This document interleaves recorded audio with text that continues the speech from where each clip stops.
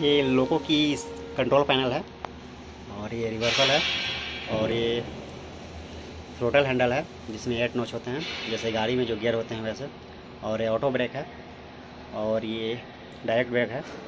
बाकी इधर सैंड है और ये हॉर्न है और ये लाइट का है। तो ये लोको की कंट्रोल पैनल थी।